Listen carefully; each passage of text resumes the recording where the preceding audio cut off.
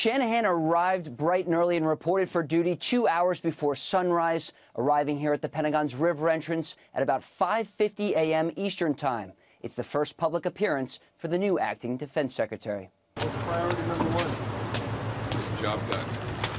Take care. Jim Mattis transferred power to his former deputy over the phone. There was no ceremony. In his first message to the forces, the longtime Boeing executive wrote, As acting Secretary of Defense, I now look forward to working with President Trump to carry out his vision alongside strong leaders.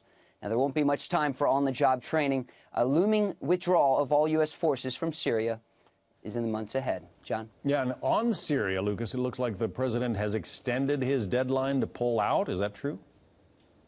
It is true, John. The president has given the military up to four more months to complete its withdrawal from Syria. The president spoke to Fox News moments before the ball dropped on 2019.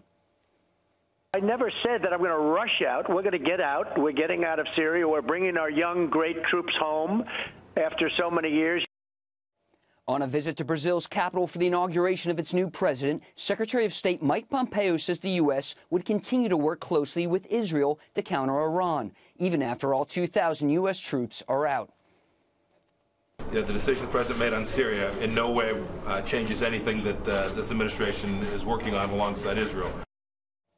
The chairman of the Joint Chiefs of Staff, General Joe Dunford, departs for Turkey in the coming days alongside John Bolton. They will be discussing Syria and the next steps ahead. John? Lucas Tomlinson, a lot of changes for you to cover there at the Pentagon. Thank you.